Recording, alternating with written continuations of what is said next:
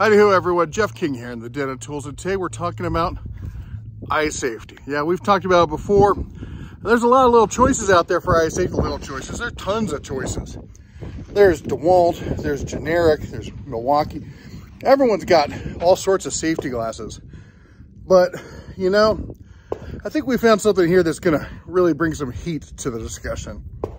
So as you can see here, we got a couple different sales, just a few of them. And just for full disclosure, because we always try for complete transparency here, uh, Heat Waves did send us these. My son turned me on to them. And when I found out, first I thought they were just stylish sunglasses. I'm like, yeah, whatever. I've been wearing Ray-Bans and Maui Jims, even Oakley's back in the day, wearing them all for years.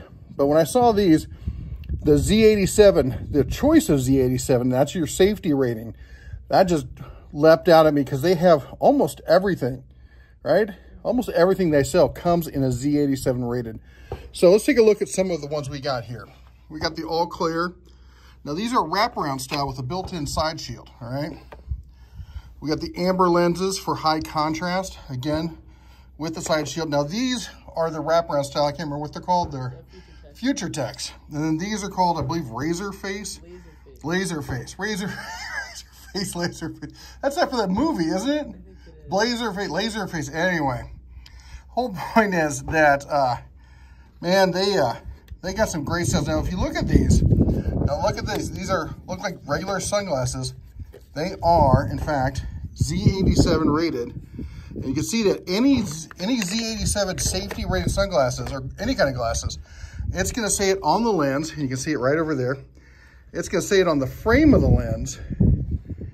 And it's going to say it on the side arms. All right. And with these, we've added in, these are after, or not aftermarket, but they're additional side shields in case where you work requires side shields.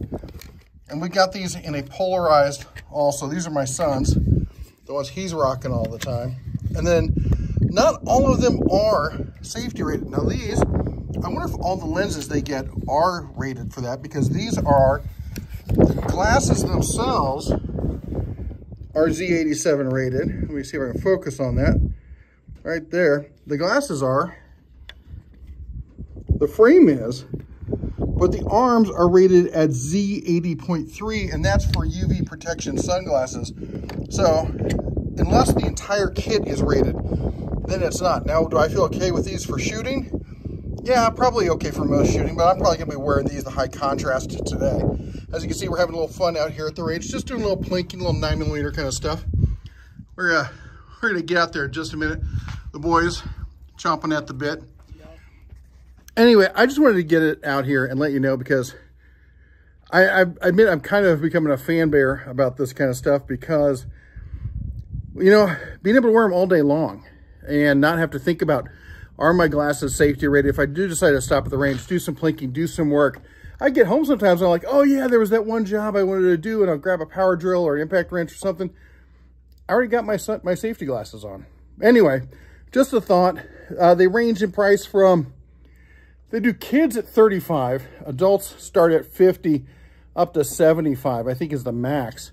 Not including if you have to add the side shields. Uh, but like the these have them integrated at 75. Anyway, let me know what you think down in the comments below. You all take care. God bless. And as always, oh wait, with the wood grain side, gotta like it. Shine on.